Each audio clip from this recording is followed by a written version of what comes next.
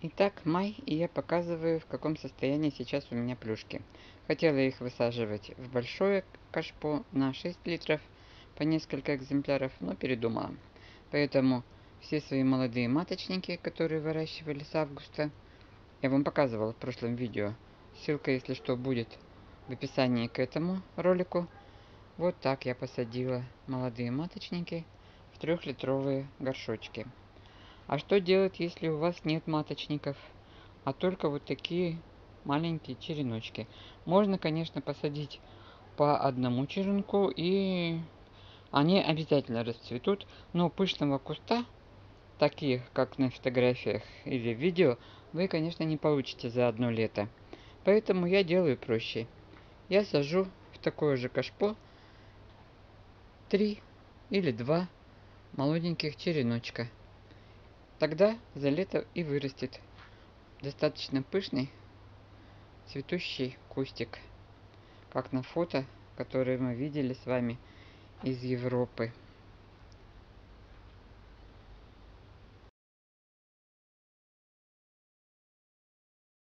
Вот это как раз та пеларгония, которую я показывала вам из своих европейских путешествий. Все города украшены такими же подобными сортами.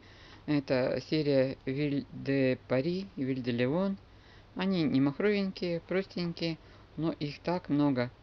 И девочки сомневались, что в нашем климате можно вырастить точно такие же кусты. Да, за один год того, что мы видим в Европе, не получим.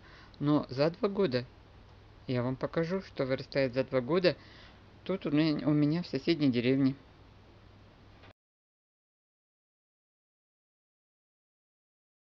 А вот и 6-литровое кашпо. Но здесь сидят два маточника миниатюрной пеларгонии Пакьевка.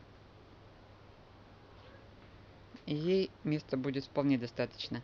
Летом будет что-то необыкновенное. Я вам покажу обязательно. А теперь мы высадим часть плюшек со смокотом. Проверим, как оно действует на цветение. Хотя в классмане плюшки и так хорошо цветут. Но проверим, как действует. Так, получается 5 грамм на литр. Здесь у нас 3 литра. 3 чайные ложечки на такой горшочек осмокота. Действие 5-6 месяцев хайка. Черенки плюшки были сделаны.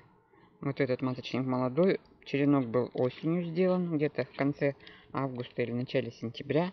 За год он из 0,5 горшочка перевален в литровый, а сейчас 3,5 литра. Один контрольный кустик этого же сорта посажен чистый классман без осмокота. И один кустик посадим со смокотом и пометим. Проверим, как оно будет действовать на цветение течение лета.